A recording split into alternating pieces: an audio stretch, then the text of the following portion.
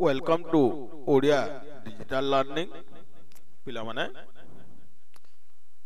ଏବେ ଆମେ ପଞ୍ଚମ ଶ୍ରେଣୀ ଗଣିତ ଧାରାର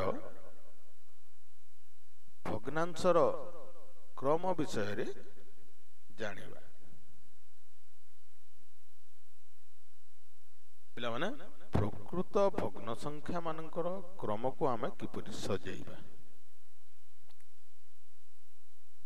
ପ୍ରକୃତ ଭଗ୍ନାଂଶର ସାନରୁ ବଡ଼ କ୍ରମରେ ବଡ଼ରୁ ସାନ କ୍ରମରେ ଆମେ ସଜେଇ ଶିଖିବା। ତାହେଲେ ଦେଖ କେତେ ଗୁଡ଼ିଏ ଚିତ୍ର ଅଛି? ଦେଖ ଚିତ୍ରର ଅଂଶ ଗୁଡ଼ିକୁ ସୀମା ରଙ୍ଗ କରୁଥିଲା। ଏଇ ଯେଉଁ ଚିତ୍ର ଅଛି ଏଠି ସୀମା ରଙ୍ଗ କରିଛି। ଚିତ୍ରରେ ଅଂଶ ଗୁଡ଼ିକର କ ଚିତ୍ରକୁ ସୀମା ରଙ୍ଗ କରୁଥିଲା ଆଉ ଖ ଚିତ୍ରକୁ ସମର ରଙ୍ଗ କରୁଥିଲା। ସେମାନେ କିଛି ଅଂଶ ରଙ୍ଗ କଲା ପରେ କିଏ ଅଧିକ ରଙ୍ଗ କରିଛି ବୋଲି ତାଙ୍କ ସାଥୀ ରମେଶ ପଚାରିଲା। ରମେଶର ପ୍ରଶ୍ନ ଶୁଣି ସମର କହିଲା ସୀମା ତିନୋଟି ଛୋଟ ଛୋଟ ଘର ରଙ୍ଗ କରିଛି। ମୁଁ ମଧ୍ୟ ତିନୋଟି ଛୋଟ ଛୋଟ ଘର ରଙ୍ଗ କରିଛି। ତେଣୁ ଉଭୟ ଚିତ୍ରର ସମାନ ସମାନ ଅଂଶ ରଙ୍ଗ କରିଛନ୍ତି। ଠିକ ଅଛି ପିଲାଏ ଆମେ ଦେଖିବା କିଏ କେତେ ରଙ୍ଗ କରିଛି। ଦେଖ ଏଇଟା କ ଚିତ୍ର ଏଇଟା ଖ ଚିତ୍ର।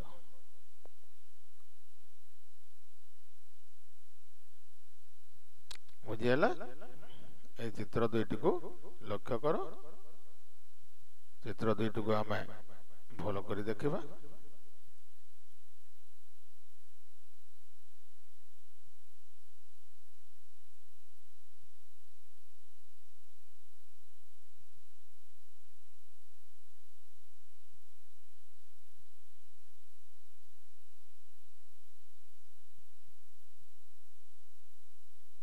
ଦେଖ ଚିତ୍ର ଦୁଇଟିକୁ ଭଲ କରି ଦେଖ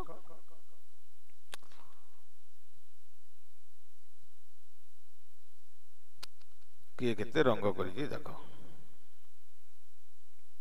ଦେଖ ପିଲା ଏଇ କ ଚିତ୍ରରେ ମଧ୍ୟ ଏକ ଦୁଇ ତିନି ତିନି ଭାଗ ରଙ୍ଗ କରାଯାଇଛି କିନ୍ତୁ ସବୁ କେତେ ଭାଗ ଅଛି? ଏକ ଦୁଇ ତିନି ଚାରି ପାଞ୍ଚ ଛଅ ଛଅ ଭାଗରୁ ତିନି ଭାଗ। ଖ ଚିତ୍ରରେ ମଧ୍ୟ ତିନି ଭାଗ ରଙ୍ଗ କରାଯାଇଛି କିନ୍ତୁ ପାଞ୍ଚ ଭାଗ ଅଛି ବୁଝିହେଲା ଦେଖିଲ ଦେଖ କ ଚିତ୍ରରେ ସୀମା ଛଅଟି ଘରରୁ ତିନୋଟି ଘର ରଙ୍ଗ କରିଛି। ତାହେଲେ ତିନୋଟି ଛଅଟି ଘରରୁ ତିନୋଟି ଘର ମାନେ ପୁରା ଅଧା। ବୁଝିହେଲା?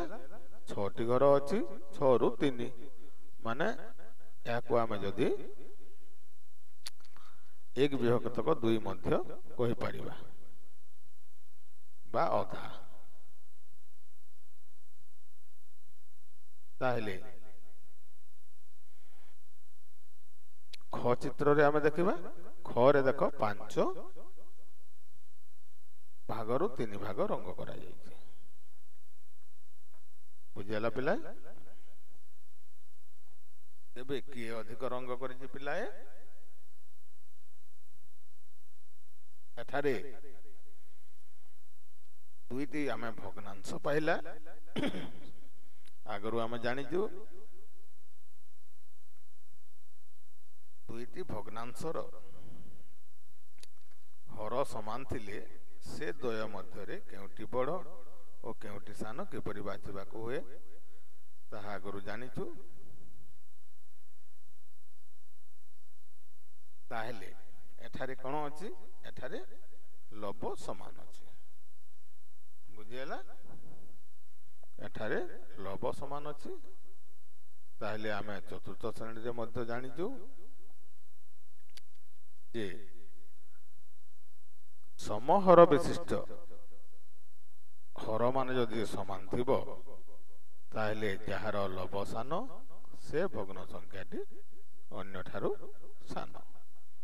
କିନ୍ତୁ ଲବ ଯଦି ସମାନ ଥିବ ସମଲବ ବିଶିଷ୍ଟ ଦୁଇଟି ଭଗ୍ନ ସଂଖ୍ୟା ମଧ୍ୟରୁ ଯାହାର ହର ସାନ ସେ ଭଗ୍ନ ସଂଖ୍ୟାଟି ଅନ୍ୟଠାରୁ ବଡ଼। ବୁଝିହେଲା ପିଲାଏ ଏହାକୁ ତୁମେ ମନେ ରଖିବ ଏହାକୁ ତୁମେ ମନେ ରଖିବ ପିଲାଏ ଆମେ ଆଉ ଥରେ ଦେଖିବା ଏଇ ଦେଖ ଏହାକୁ ଆମେ ଭଲ ଭାବରେ ଟିକେ ଦେଖିବା ଏହା ତୁମେ ତୁମର ନୋଟ୍ ଖାତାରେ ଲେଖିପାରିବ ଦେଖ ସମହର ମାନେ ହର ମାନେ ସମାନ ଥିବ। ଯଦି ହର ଗୁଡ଼ିକ ସମାନ ଥାଏ ତେବେ ଲବ ଯଦି ଯାଇ ଯେଉଁ ଭଗ୍ନାଂଶର ଲବ ସାନ ଥିବ ସେହି ଭଗ୍ନ ସଂଖ୍ୟାଟି ସାନ।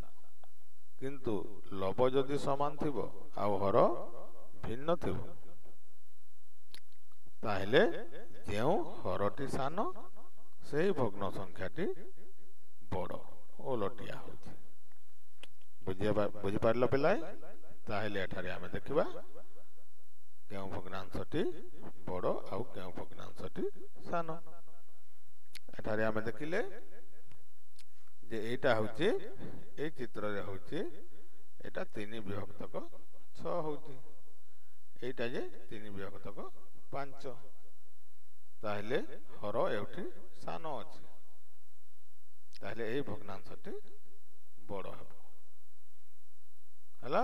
ଏଇ ଚିତ୍ରରେ ବେଶୀ ରଙ୍ଗ କରାଯାଇଛି ଗୋଟିଏ ସମାନ ଜିନିଷକୁ ଆମେ ଛଅ ଭାଗ କରିବା ଆଉ ତିନି ଭାଗ ରଙ୍ଗ କରିବା।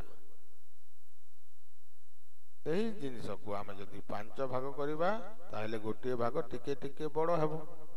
ତେଣୁକରି ଏଇଟା ବଡ଼ ହେଲା। ବୁଝିଗଲା ପିଲା? ଯେପରି ଏଇ ଗୋଟେ ଭଗ୍ନାଂଶ ଦେଖ ଏଠାରେ ହର ସମାନ ଅଛି ତାହେଲେ ଯାହାର ଲବ ବଡ଼ ସିଏ ବଡ଼। ବୁଝିହେଲା? ଦୁଇଟି ଭଗ୍ନ ସଂଖ୍ୟାର ଲବ ସମାନ ଥିଲେ ସେ ଦୁଇଟି ମଧ୍ୟରୁ ଯେଉଁଟି ବଡ଼ ସାନ କିପରି ବଛାଯାଏ ତାହା ଆଗରୁ ଆମେ ଜାଣିଛୁ। ଯେପରି ଏଠାରେ ଲବ ସମାନ ଅଛି ତାହେଲେ ହର କେଉଁଠି? ଏଠାରେ ସାତ ଅଛି ହର ଏହାରେ ନଅ ଅଛି। ତାହେଲେ संख्याटी भग्न संख्या बड़ हम बुझे पिल देख एक विभक्त दुई और तीन विभक्त पाँच एठारे लब सामान नुहे कि हर भी सामान नुहे एठारे आम किपर जाणी किए बड़ किए सान ତାହେଲେ ଭଗ୍ନ ସଂଖ୍ୟା ଦୁଇଟିର ହରକୁ ଆମେ ସମାନ କରିବା। ବୁଝିହେଲା ଆମେ ଜାଣିଛୁ ଯେ ଏକ ବିଭକ୍ତକ ଦୁଇ ସମାନ ଏକ ଗଣନ ଦୁଇ ବିଭକ୍ତକ ଚାରି ହେଇପାରିବ ବା ତିନି ବିଭକ୍ତକ ଛଅ ମଧ୍ୟ ହେଇପାରିବ ସମଭଗ୍ନାଂଶ ଚାରି ବିଭକ୍ତକ ଆଠ ମଧ୍ୟ ହେଇପାରିବ ପାଞ୍ଚ ବିଭକ୍ତକ ଦଶ ମଧ୍ୟ ହେଇପାରିବ। ଆଉ ଛଅ ବିଭକ୍ତକ ବାର ମଧ୍ୟ ହେଇପାରିବ। ବୁଝିହେଲା? ଦେଖ ଏକ ବିଭକ୍ତକ ଦୁଇ କୁ ଆମେ ଦୁଇ ବିଭକ୍ତକ ଚାରି ମଧ୍ୟ କରିପାରିବା। ତାକୁ ଯଦି ଏମିତି ଭାଗ କରିଦେବା। ହେଲା? ଏଇଟା ଯେମିତି। ସେଇ ସମାନ ପରିମାଣ ହଉଛି। ଖାଲି ଗୋଟିଏ ଗାର ଦେବା ଭାଗ କରିବା। ବୁଝିହେଲା?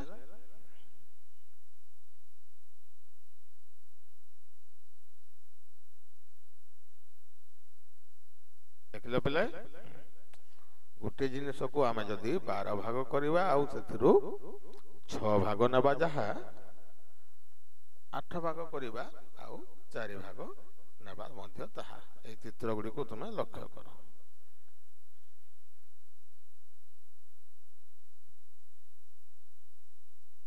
ହେଲା? ଦେଖ ଏଇ ଚିତ୍ର ଗୁଡ଼ିକରେ ରଙ୍ଗ ଦିଆଯାଇଥିବା ପରିମାଣ ସବୁଠି ସମାନ ଅଛି। କିନ୍ତୁ ଭଗ୍ନାଂଶ ଗୁଡ଼ିକୁ ଅଲଗା ଅଲଗା ଲେଖାଯାଇଛି। ଦେଖିଲ? ଠିକ ଅଛି ତାହେଲେ ପିଲାଏ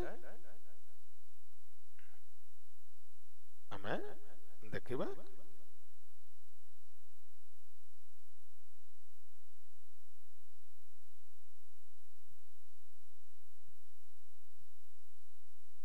ଏମିତି ଆହୁରି ସମଭଗ୍ନାଂଶ ମଧ୍ୟ ଆମେ ପାଇପାରିବା। ପିଲାମାନେ ଗୋଟିଏ ଭଗ୍ନାଂଶର ସମଭଗ୍ନାଂଶ ଆମେ ଅସଂଖ୍ୟ ପାଇପାରିବା। ବୁଝିହେଲା? ତିନି ବିଭକ୍ତକ ପାଞ୍ଚ ର ଗୋଟିଏ ସମଭଗ୍ନାଂଶ ହେଲା ଛଅ ବିଭକ୍ତକ ଦଶ। ବୁଝିହେଲା? ତିନି ବିଭକ୍ତକ ପାଞ୍ଚ ଲାଗି ଆଉ ଆମେ ସମଭଗ୍ନାଂଶ ଲେଖିବା ନାହିଁ। ଏକ ବିଭକ୍ତକ ଦୁଇ ଲାଗି ଯେଉଁ ସମଭଗ୍ନାଂଶ ମାନଙ୍କୁ ଲେଖିଛି ସେମାନଙ୍କ ମଧ୍ୟରେ ଦଶ ହର ହେଉଥିବା ଭଗ୍ନ ସଂଖ୍ୟାଟି ହେଉଛି ପାଞ୍ଚ ବିଭକ୍ତକ ଦଶ। ତାହେଲେ ପିଲାଏ ଆମେ ଯେଉଁ ଆଗରୁ ଦୁଇଟି ଭଗ୍ନ ସଂଖ୍ୟାକୁ ଆମେ ଦେଖିବା ଏକ ବିଭକ୍ତକ ଦୁଇ ଓ ତିନି ବିଭକ୍ତକ ପାଞ୍ଚ ମଧ୍ୟରେ ଆମେ କେଉଁଟି ବଡ଼ ତାହା ନିର୍ଣ୍ଣୟ କରିବା। ଏକ ବିଭକ୍ତକ ଦୁଇ ଓ ତିନି ବିଭକ୍ତକ ପାଞ୍ଚ ହେଲା ତାହେଲେ ତିନି ବିଭକ୍ତକ ପାଞ୍ଚକୁ ଆମେ ଛଅ ବିଭକ୍ତକ ଦଶ ମଧ୍ୟ କରିପାରିବା ହେଲା ଆଉ ଏକ ବିଭକ୍ତକ ଦୁଇକୁ ଆମେ ପାଞ୍ଚ ବିଭକ୍ତକ ଦଶ ମଧ୍ୟ କରିପାରିବା ହେଲା ଏକ ବିଭକ୍ତକ ଦୁଇକୁ ଆମେ ପାଞ୍ଚ ବିଭକ୍ତକ ଦଶ ମଧ୍ୟ କରିପାରିବା। ଆଉ ତିନି ବିଭକ୍ତକ ପାଞ୍ଚକୁ ଆମେ ଛଅ ବିଭକ୍ତକ ଦଶ ମଧ୍ୟ କରିପାରିବା। ଆମେ ଦୁଇ ଭଗ୍ନାଂଶର ହରକୁ ଆମେ ସମାନ କରିବା। ସମ ଭଗ୍ନାଂଶରେ ପରିଣତ କରିବା।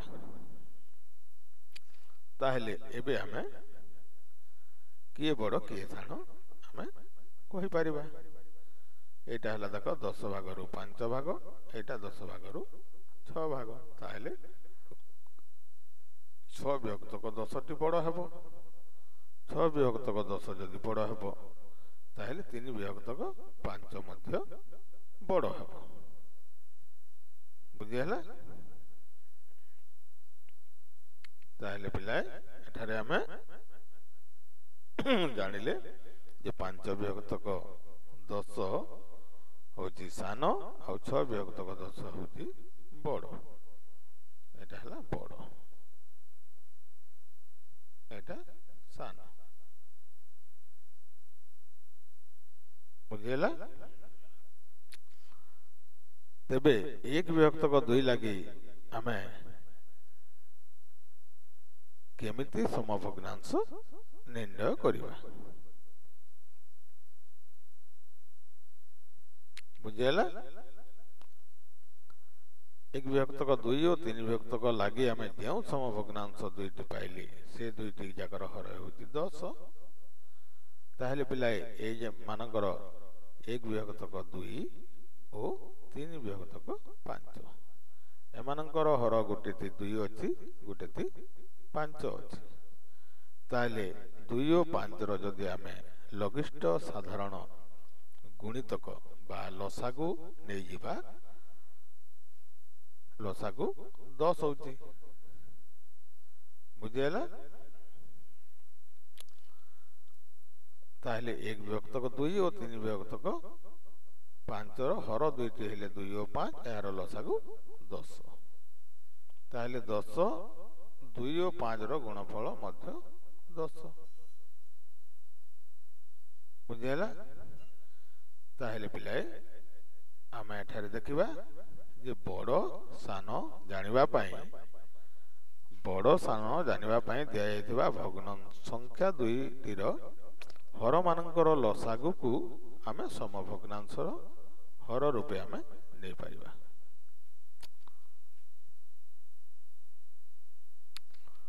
ହର ଦୁଇଟିର ଗୁଣଫଳକୁ ମଧ୍ୟ ସମଭଗ୍ନାଂଶର ହର ରୂପେ ନିଆଯାଇପାରେ ଆମେ ଆଉ ଦୁଇଟି ଭଗ୍ନ ସଂଖ୍ୟା ନେଇ ବଡ଼ ସାନ ଆମେ ନିର୍ଣ୍ଣୟ କରିବା ଦେଖିବା ଏଠାରେ ଦେଖ ପାଞ୍ଚ ବିଭକ୍ତକ ଛଅ ଓ ସାତ ବିଭକ୍ତକ ଆଠ ମଧ୍ୟରେ କିଏ ବଡ଼ କିଏ ସାନ ଆମେ ବାଛିବା ତାହେଲେ ପିଲାଏ ଛଅ ଆଉ ଆଠର ଆମେ ଲସାକୁ ଯଦି ବାହାର କରିବା ଲସାକୁ ହେଉଛି ଚବିଶ ଆଗରୁ ତୁମେ ଲସାକୁ କିପରି ବାହାର କରାଯାଏ ଦେଖ। ଛଅ ଆଉ ଆଠକୁ ଆମେ ଯଦି ଏକାଥରକେ ଦୁଇରେ ହରଣ କରିବା ଦୁଇ ତିରି ଛଅ ଦୁଇ ଛଅ ଆଠ। ତାପରେ ପୁଣି ଦୁଇ ତିରି ଛଅ ଦୁଇ ଦୁଣେ ଚାରି।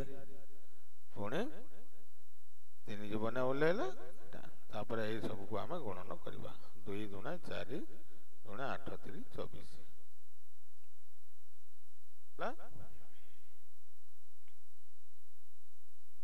ତାପରେ ଆମେ ପାଞ୍ଚ ବିଭକ୍ତକ ଛଅ ଆଉ ସାତ ବିଭକ୍ତକ ଆଠର ହରକୁ ଆମେ ଚବିଶ ବନେଇବା।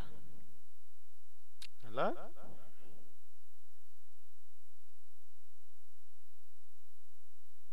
ଦେଖ ପାଞ୍ଚ ବିଭକ୍ତକ ଛଅକୁ ଯଦି ଆମେ ହରକୁ ଚବିଶ ବନେଇଦେବା ତାହେଲେ ଚାରିରେ ଗଣନ କରିବା।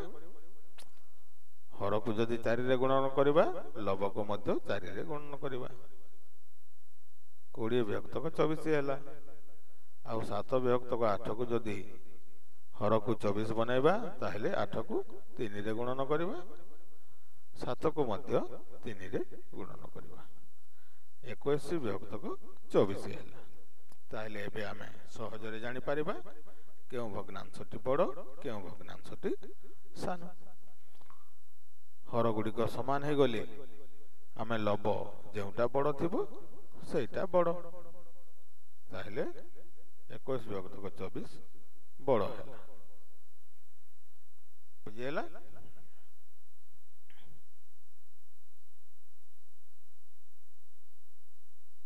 তাহলে দেখ পাঁচ বিভক্তক ছ সাত বিভক্তক আঠ দেখ পাঁচকু আঠরে গুণিলা ଆଉ ଛଅକୁ ଯଦି ଆଠରେ ଗୁଣିବା ତେବେ ଚାଳିଶ ବିଭକ୍ତକ ଅଠଚାଳିଶ ହେଲା।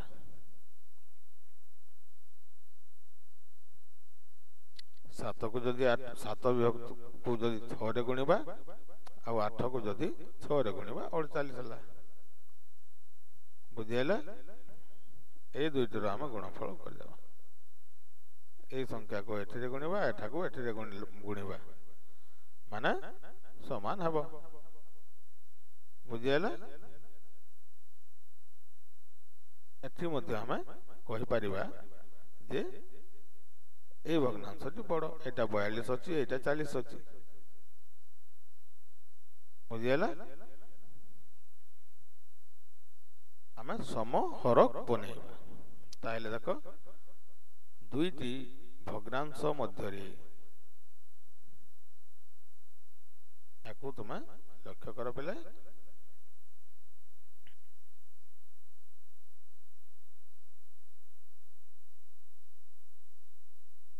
ଦୁଇଟି ଭଗ୍ନ ସଂଖ୍ୟା ମଧ୍ୟରେ ବଡ଼ ସାନ ବାଛିବା ପାଇଁ ଉଭୟ ଲାଗି ସମଭଗ୍ନ ସଂଖ୍ୟା ଲେଖିବା। ଯାହାର ହର ମୂଳ ଭଗ୍ନ ସଂଖ୍ୟା ଦ୍ୱୟର ହରର ଲସାଗୁ ସଙ୍ଗେ ସମାନ ହେବ। ତାହେଲେ ଦୁଇଟି ଭଗ୍ନ ସଂଖ୍ୟା ମଧ୍ୟରେ ଆମେ ଯଦି ସାନ ବଡ଼ ଜାଣିବା ପାଇଁ ଚାହିଁବା ତାହେଲେ ସେମାନଙ୍କର ହର ଗୁଡ଼ିକର ଲସାକୁ ନେଇଯିବା। ଏବଂ ଭଗ୍ନ ସଂଖ୍ୟା ଗୁଡ଼ିକୁ କେତେରେ ଗୁଣିଲେ ହର ସେହି ଲସାଗୁ ହେବ ତାହା ଆମେ ନିଜେ ସ୍ଥିର କରିବା। ତାପରେ ସମହର ହେଇସାରିଲା ପରେ ଆମେ ଯାହାର ଲବ ବଡ଼ ଥିବ ସେଇ ଭଗ୍ନାଂଶଟି ବଡ଼ ହେବ। ବୁଝିଗଲା ପିଲାଏ?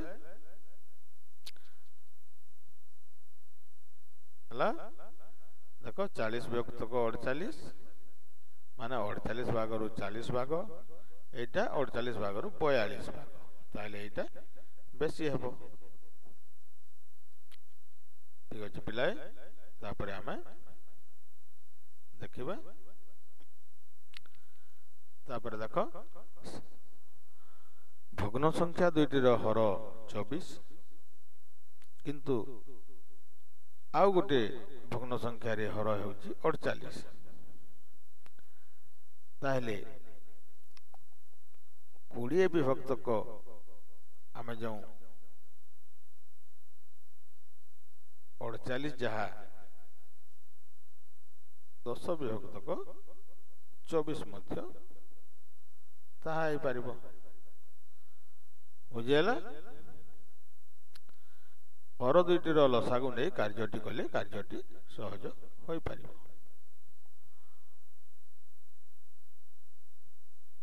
ଦେଖ ଗୋଟିଏ ଭଗ୍ନ ସଂଖ୍ୟାର ଲବ ହରକୁ ଚାରି ଦ୍ୱାରା ଗୁଣା ଯାଇଛି ଅନ୍ୟଟିର ଲବ ହର ଉଭୟକୁ ତିନି ଦ୍ୱାରା ଗୁଣା ଯାଇଛି କିନ୍ତୁ ଆଠ ଦ୍ୱାରା ଓ ଛଅ ଦ୍ୱାରା ମଧ୍ୟ ଗୁଣନ କରାଯାଇଛି। ଏଠାରେ ଦୁଇଟି ହର ଗୋଟିଏ ଛଅ ଗୋଟିଏ ଆଠ ଏହାକୁ ମଧ୍ୟ ଗୁଣନ କରାଯାଇଛି। ତାହେଲେ ସହଜରେ ଆମେ ସାନ ବଡ଼ ଜାଣିବା ପାଇଁ ଆମେ ହର ଦୁଇଟିର ଲସାଗୁ କେତେ ହେବ ଆମେ ନିର୍ଣ୍ଣୟ କରିବା ଓ ଗୁଣଫଳ ସ୍ଥିର କରିବା। ଠିକ ଅଛି ପିଲା ତାହେଲେ ଏବେ ଆମେ ଭଗ୍ନ ସଂଖ୍ୟା ଗୁଡ଼ିକୁ ସାନରୁ ବଡ଼ ବା ବଡ଼ରୁ ସାନରେ ସଜେଇବା।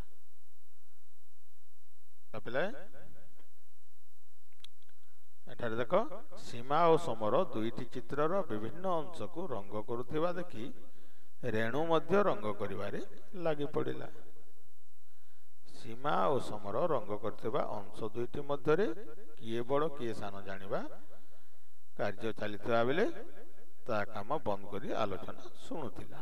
ଦେଖ ଏଠାରେ ସୀମା ଓ ସମର ରେଣୁ ରଙ୍ଗ କରିଥିବା ଅଂଶମାନଙ୍କ ଭିତରେ ସବୁଠୁ ବେଶୀ ଆଉ କାହାର ସବୁଠୁ କମ୍ କିପରି ଜାଣିବା? ଦେଖ ଏଠାରେ ଦେଖ ସମାନ ଚିତ୍ର ଦିଆଯାଇଛି। ଏ ଚିତ୍ର ଗୁଡ଼ିକରେ ଦେଖ ସମାନ ଚିତ୍ର ଦିଆଯାଇଛି। ଦେଖ ପିଲା ଏ ଚିତ୍ରକୁ ଦେଖ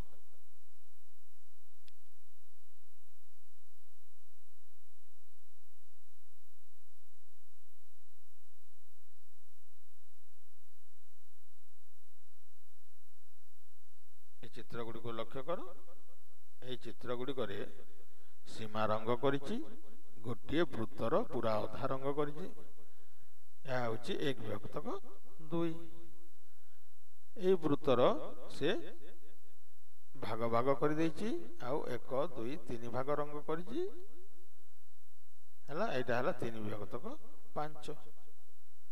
ଏଠି ରେଣୁ କ'ଣ କରିଛି ସେ ତାକୁ ଛଅ ଭାଗ କରିଦିଆଯାଇଛି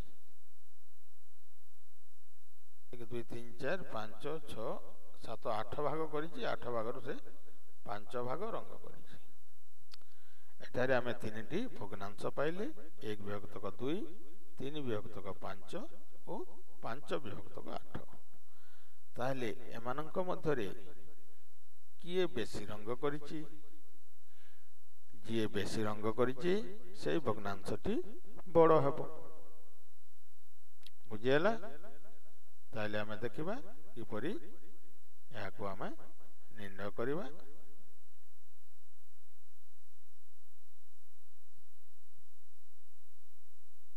ଦେଖ ଏଠାରେ ଆମେ ଭଗ୍ନ ସଂଖ୍ୟା ମାନଙ୍କର ଲସାଗୁ ସ୍ଥିର କରିବା ତାହେଲେ ଭଗ୍ନ ସଂଖ୍ୟା ମାନଙ୍କର ଲସାଗୁ ହେଲା ଗୋଟିଏ ହେଲା ଏକ ବିଭକ୍ତକ ଦୁଇ ଗୋଟିଏ ତିନି ବିଭକ୍ତକ ପାଞ୍ଚ ଗୋଟିଏ ପାଞ୍ଚ ବିଭକ୍ତକ ଆଠ ତାହେଲେ ଦୁଇ ପାଞ୍ଚ ଓ ଆଠର ଲସାଗୁ ଆମେ ତିଆରି দুই, পাঁচ, আঠর লসাগু যদি আমি বাহার করা তাহলে কেতে হচ্ছে দুই দুণে চারি দুণে আঠ পঞ্চ চাশ হচ্ছে তাহলে সমস্ত ভগ্নাংশর হরকু আমি চালিশ বনাইবা।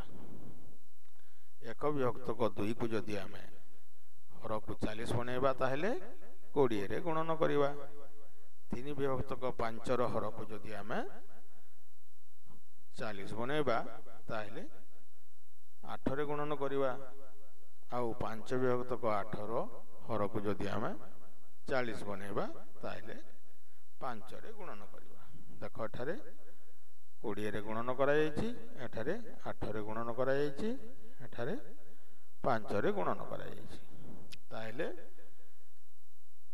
ସବୁ ଭଗ୍ନାଂଶର ହର ଗୁଡ଼ିକୁ ଆମେ ଚାଳିଶ ବନେଇଲା ତେବେ ଆମେ ଏଠାରେ ସହଜରେ ଜାଣିପାରିବା ଯେ କୋଡ଼ିଏ ବିଭକ୍ତକ ଚାଳିଶ ହେଉଛି ସାନ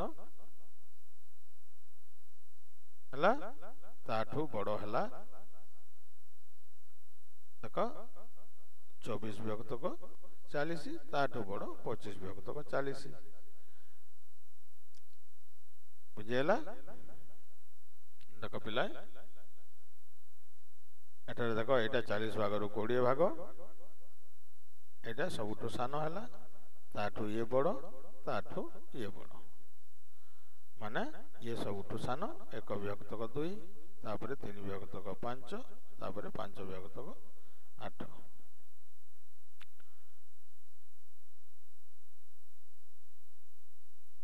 ତାହେଲେ ସାନରୁ ବଡ଼ କ୍ରମଟି ହେଲା ଏକ ବିଭକ୍ତକ ଦୁଇ। ବୁଝିହେଲା? ସାନ ସଂଖ୍ୟା ଆଡ଼କୁ ଏପରି ଆମେ ଲେଖିପାରିବା।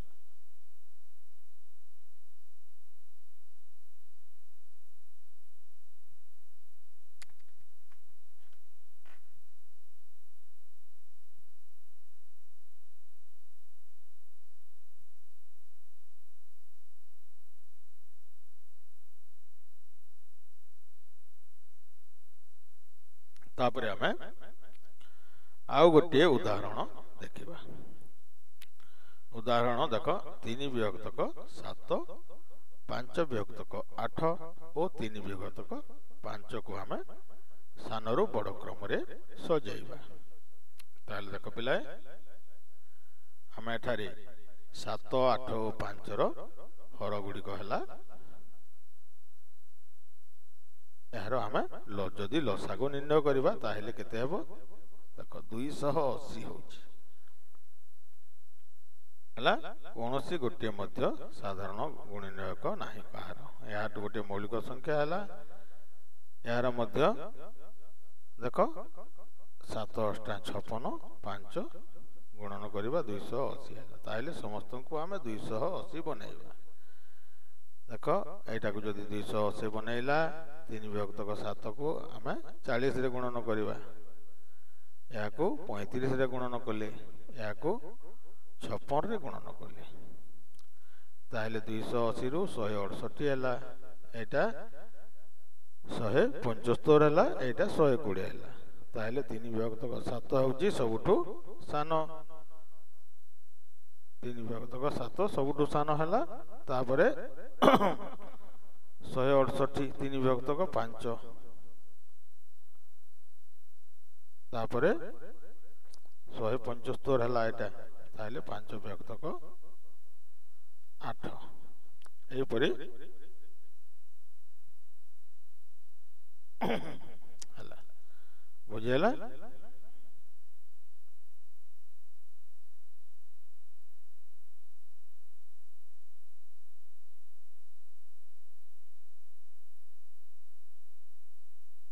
ତାହେଲେ ଦେଖ ପିଲେ ସମଭଗ୍ନ ସଂଖ୍ୟା ମାନଙ୍କ ମଧ୍ୟରେ ସବୁଠାରୁ ସାନ ହେଲା ଇଏ ତାପରେ ଏମିତି ଯାଇଛି ବୁଝିହେଲା ପିଲେ ତାହେଲେ ଆମେ ଏଠାରେ ଦେଖିପାରିବା ତିନି ବିଭକ୍ତକ ଚାରି ଓ ପାଞ୍ଚ ବିଭକ୍ତକ ସାତ ମଧ୍ୟରେ ବଡ଼ କିଏ ପିଲାଏ ଆମେ ଯଦି ଏଠାରେ ଚାରି ଓ ସାତର ଲସାଗୁ ନେବା ତାହେଲେ କେତେ ହେବ ଅଠେଇଶ ହେବ ଅଠେଇଶ ହେବ ବୁଝି ବୁଝିପାରିଲେ ଅଠେଇଶ ହେଲା ଲସାଗୁ ତାହେଲେ ତିନି ବିଭକ୍ତକ ଚାରିକୁ ଆମେ ହରକୁ ଯଦି ଅଠେଇଶ କରିବା ତାହେଲେ ଚାରିକୁ ସାତରେ ଗୁଣନ କରିବା ତିନିକୁ ମଧ୍ୟ ସାତରେ ଗୁଣନ କରିବା ତାହେଲେ ଏଇଟା ହେଇଯିବ କେତେ ଏକୋଇଶ ବିଭକ୍ତକ ଅଠେଇଶ ହେଇଯିବ ଏକୋଇଶ ବିଭକ୍ତକ ଅଠେଇଶ ହେଇଯିବ ହେଲା ଏଇଟା କୋଡ଼ିଏ ବିଭକ୍ତକ ଅଠେଇଶ ହେବ। ବୁଝିହେଲା? ତାହେଲେ ଏକୋଇଶ ବିଭକ୍ତକ ଅଠେଇଶଟା ବଡ଼ ହେବ ମାନେ ତିନି ବିଭକ୍ତକ ଚାରି ବଡ଼ ହେବ। ଏଠାରେ ଦେଖିବା ନଅ ଆଉ ଦଶ ଅଛି। ତାହେଲେ ଯଦି ଆମେ ହରକୁ ନଅ ଗୁଣନ ଦଶ ସମାନ ନବେ କରିବା ତାହେଲେ ଏଇ ଭଗ୍ନାଂଶଟି ହେବ ପଚାଶ ବିଭକ୍ତକ ନବେ ହେଇଯିବ। ନଅକୁ ଆମେ ଦଶରେ ଗୁଣନ କରିବା। ଏଇ ଭଗ୍ନାଂଶଟି ହେଇଯିବ ପଇଁତିରିଶ ବିଭକ୍ତକ ଇ ସାତ ନୂଆ ତେଷଠି। ନଅରେ ଗୁଣନ କରିବା ତେଷଠି ବିଭକ୍ତକ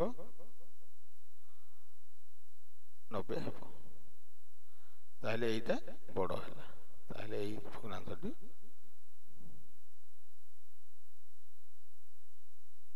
সাত বিভক্ত দশ এখানে বড় হব। এখানে আমি দেখিবা পাঁচ আঠ আঠ অছি তাহলে আঠ পঞ্চা চাশ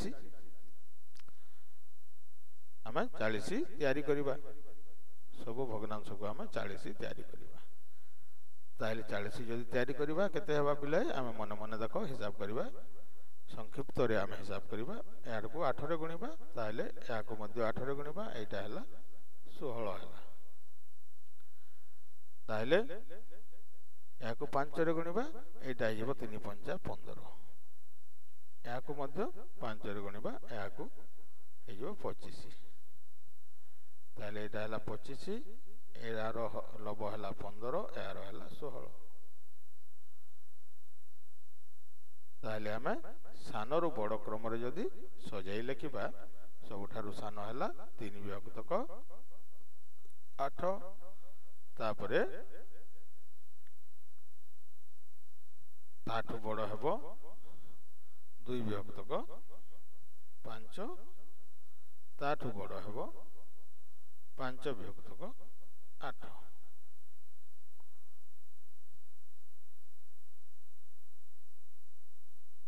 ବୁଝିଗଲା ପିଲା? ତାହେଲେ ଏଇ ଅଭ୍ୟାସ କାର୍ଯ୍ୟ ଗୁଡ଼ିକୁ ତୁମେ ତୁମ ପାଠ ବହିରେ ଓ ଅଭ୍ୟାସ ଖାତାରେ ଅଭ୍ୟାସ କରିବ ଏବେ ଏତିକି ପଢ଼ିବା ପରେ ପୁଣି ଆଗକୁ ପଢ଼ିବା। Thank you children